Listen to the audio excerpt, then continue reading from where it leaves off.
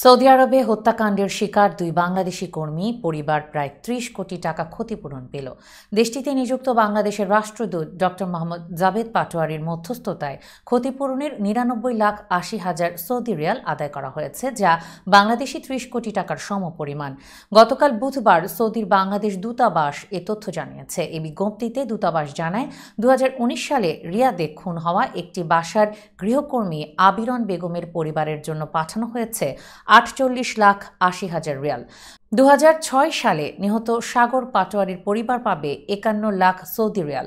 খুলনার পাইকগাছার গৃহকর্মী আবিরন বেগম দুহাজার উনিশ সালের চব্বিশ মার্চ রিয়াদের আজিজিয়ায় নিয়োগকর্তার বাসভবনে হত্যা শিকার হন।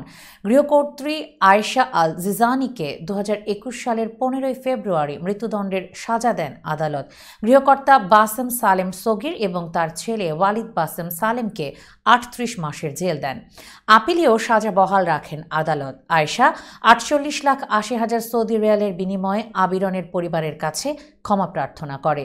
আবিরনের পরিবার এতে সম্মত হয়েছে। এদিকে কুমিল্লার বরুড়ার সাগর দু হাজার ছয় সালের সাতাশ জুন অজ্ঞাত বন্দুকধারীর গুলিতে নিহত হন। দীর্ঘ সময় তার খুনিকে শনাক্ত করতে পারেনি পুলিশ। দু হাজার আঠারো সালের বারো আগস্ট দূতাবাসের শ্রমকল্যাণ উইং প্রতিনিধি থানায় পরিদর্শনকালে জানতে পারে, সেখানে চুরির মামলায় সৌদি নাগরিক উমর আল সাম্মেরি আটক আছেন, যিনি সাগর হত্যা মামলার সন্দেহভাজন।